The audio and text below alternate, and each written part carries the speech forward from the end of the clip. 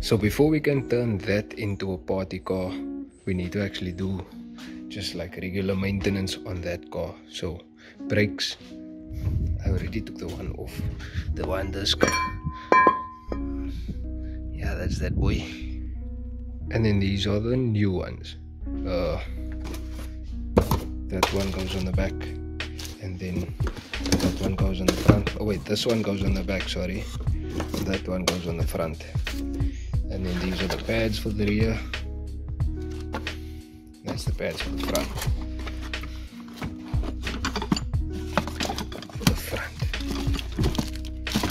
So and these are the tools that I used to get the thing off.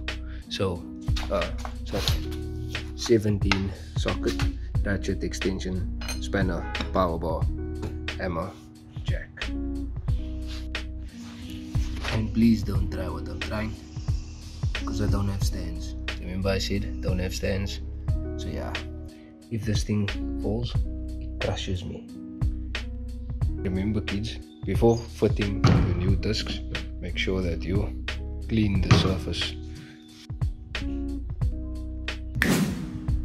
So update on the VQ last video you guys saw that there was no radiator in the car. The fuel cell wasn't fitted. The management wasn't fitted. Since then pops has completed the wiring. He made the two brackets for the throttle. She actually started up. I'll, I'll try and put the clip in now. First start up. Woo! super excited super excited. Yeah doesn't sound like much right now obviously because it still needs to be tuned and things but as you can see cooling system is uh, linked up. Pops just gave it a, a nice little a wee little coat of some other paint. Uh, oil cooler needs to be fitted. Um, what else? Let's check. Okay so uh, sorry. There we have it. Management fitted wired. Um, the fuel pressure regulator is fitted um, well these were all here if you guys some of you didn't know.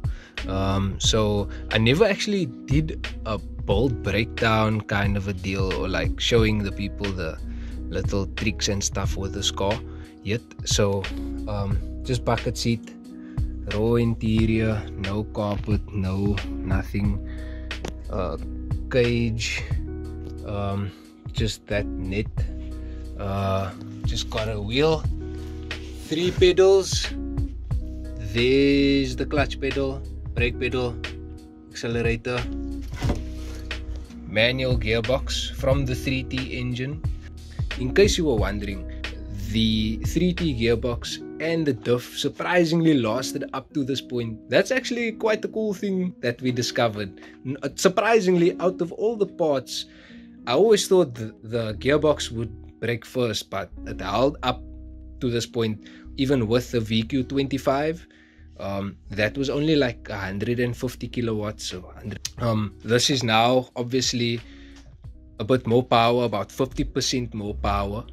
So I don't know how much longer it's gonna last. Um, the diff and the gearbox are probably going to explode. Um, but yeah, it's all in the name of good fun.